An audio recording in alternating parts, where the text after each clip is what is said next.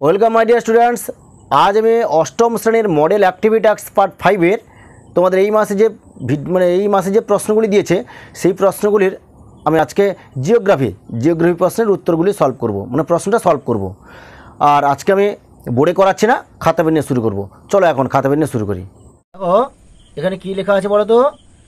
এখানে লেখা আছে, আমি লিখে দিয়েছি হ্যাঁ মডেল অ্যাক্টিভিটাক্স দু হাজার একুশ geography part five class eight বুঝলে তো? এখানে আমি আর প্রশ্ন, প্রশ্নটা নিয়ে তোমাদের বলছি না, আমি খাতায় উত্তরটা করে দিয়েছি, সেটা আমি জাস্ট তোমাদের বলে দিচ্ছি, বুঝলে? এখানে লেখা আছে কি বলো দেখি, একের দিকে? লেখা আছে, বিকল্পগুলি থেকে ঠিক উত্তরটি নির্বাচন করে লেখো, নাকি? এবার একের একে দেখে হচ্ছে কি কর্পেটীয় উচ্চচাপ বলয় থেকে নিরক্ষ নিম্নচাপ বলয়ের দিকে প্রবাহিত নিয়ত বায়ু হলো উত্তরটা কী বলো তো কি? উত্তরটা হবে, এখানে কয়েকটা অপশান দিয়েছে, চারটে অপশান দিয়েছে। চারটে অপশান মধ্যে কোনটা হবে সেটা দেখতে হবে, নাকি? দেখো, ক দিকে লেখা আছে, দক্ষিণ পূর্ব আয়ন বায়ু এটা হবে না। খ হবে কি, উত্তর পূর্ব আয়ন বায়ু এটা হবে। বুঝলো তো? এটা ঠিক হবে। খ হবে কি, উত্তর পূর্ব আয়ন বায়ু বুঝলে? এবার দেখো, একের দুইয়ের দিকে প্রশ্নটা। একের দুই দিকে কী প্রশ্ন আছে? লেখা আছে যে ঠিক জোড়াটি নির্বাচন করো। নাকি? কয় দিয়ে কী লেখা আছে? যে বজ্রপাত সহ প্রবল বৃষ্টি সিরাজ মেঘ।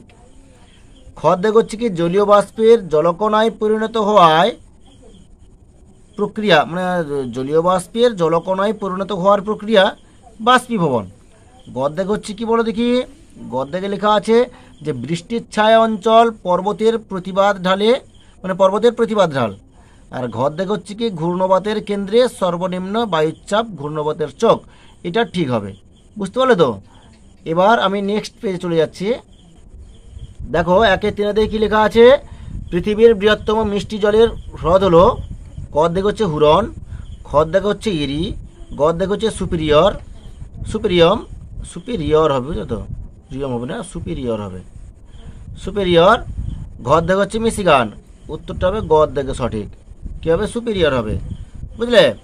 এবার দেখো দুয়ের দিকে কী লেখা আছে? দুয়ের দিকে আছে শূন্যস্থান পূরণ করো। দুয়ের একের দিকে আছে কি? উত্তর পশ্চিম ভারতে প্রবাহিত একটি স্থানীয় বায়ু হলো, উত্তরটা হবে লু। বুঝলে তো? এবার এক দুয়ে দুয়ে দিকে কী আছে? কোনো একটি নির্দিষ্ট সময়ে সমপরিমাণ বৃষ্টিপাতযুক্ত স্থানগুলিকে মানচিত্রে সমবর্ষণ, এর উত্তরটা হবে সমবর্ষণ, বুঝতে পারলে তো? সমবর্ষণ রেখার সাহায্যে যুক্ত করা হয়। বোঝা গেছে? এবার দেখো দুয়ের তিনের দিকে দুয়ের তিনের দিকে কী আছে বলো দেখি? দুয়ের তিনের দিকে আছে দক্ষিণ আমেরিকার আন্দিজ পর্বতের পশ্চিমে অবস্থিত পৃথিবীর অন্যতম শুষ্ক অঞ্চল, ড্যাশ মরুভূমি। উত্তরটা হবে আটাকামা মরুভূমি। বোঝা গেছে? তিনের দিকে কি আছে?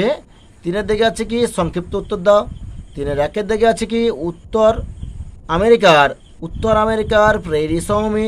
দুগ্ধ শিল্পে উন্নত কেন? আমি তোমাদের বই দেখে বলে দিচ্ছি।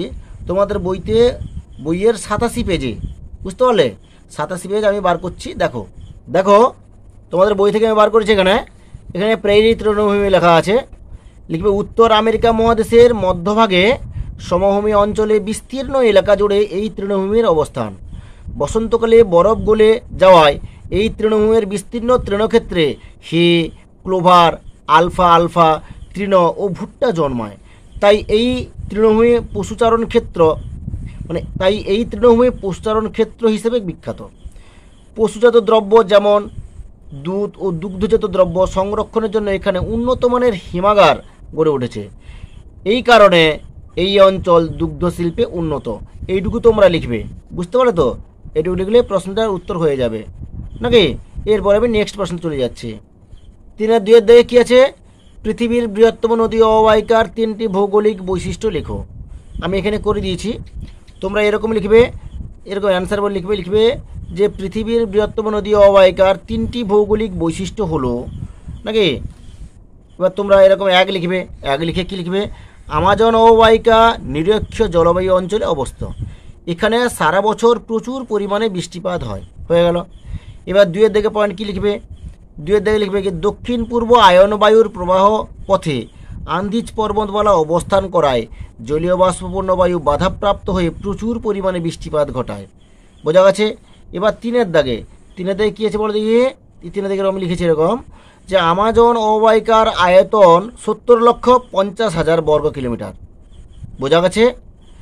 এরপরে চারিদিকে কী আছে বলো দেখি? চারিদিকে আছে যে, বায়ুর চাপ বলয়গুলির অবস্থান পরিবর্তন দুই গোলার্ধের তিরিশ ডিগ্রি থেকে চল্লিশ ডিগ্রি অক্ষরেখার মাঝের স্থানগুলির জলবায়ুর উপর বিশেষ প্রভাব ফেলে। উপযুক্ত উদাহরণসহ বিষয়টি হবে এখানে। বিষয়টি ব্যাখ্যা করো। নাকি? আমি তোমাদের বই থেকে, আমি না লিখে বই থেকে আমি বলে দিয়েছি তোমাদের। অ্যান্সারটা হবে কত বলে দেখে বলে তোমাদের বইয়ের পেজ নাম্বার থার্টি এইট মানে আটত্রিশ নম্বর পেজে তোমাদের বইয়ে আছে। দেখো, আমি সেখান থেকে বলে দিচ্ছি। এখানে দেখো আমি তোমাদের বই থেকে বলে দিয়েছি, এরকম তোমরা এখান থেকে লিখে নেবে। এখানে লেখা আছে বায়ুচাপ বলয়গুলোর অবস্থান পরিবর্তন, দুই গোলার্ধের তিরিশ ডিগ্রি থেকে চল্লিশ ডিগ্রি অক্ষরেখার মাঝের স্থানগুলোর জলবায়ুর উপর বিশেষ প্রভাব ফেলে। এই এই লাইনটা তোমাদের বই থেকে দেওয়া আছে মানে প্রশ্নতে দেওয়া আছে এই লাইনটা। এই অঞ্চলগুলো গ্রীষ্মকালে আয়ন বায়ুর আয়ন বায়ু আবার শীতকালে পশ্চিমা বায়ুর দ্বারা বিশেষভাবে প্রবাহিত। নাকি? বায়ুচাপ বলয়ের অবস্থান পরিবর্তন সহজ করে বোঝানো, এখানে লেখা আছে, তোমরা এটা লিখবে না। বুঝলো তো? এবার এই দুটো, এখানে কি আছে বলো দেখি? এই দুটো। এই দুটো তোমরা করবে। বুঝলো তো? এই দুটো উদাহরণ দিয়ে ভালো করে দিয়ে দিচ্ছে। এটাকে এক নম্বর দিয়ে দেবে আর এটাকে দু নম্বর দিয়ে দেবে। বুঝলো তো? তোমরা কি লিখবে? যে সূর্যের উত্তরণের সময় কর্কটীয় উচ্চচাপ বলয়টি উত্তর দিকে সরে যায়, ফলে গ্রীষ্মকালে স্থলভাগ থেকে আগত উত্তর পূর্ব আয়ন বায়ুর প্রভাবে ভূমধ্যসাগরের সন্নিহিত দেশগুলোতে বৃষ্টিপাত প্রায় হয় না। নাকি? এবার দেখো এবার দু নম্বর পয়েন্ট দু নম্বরটা কি লিখবে?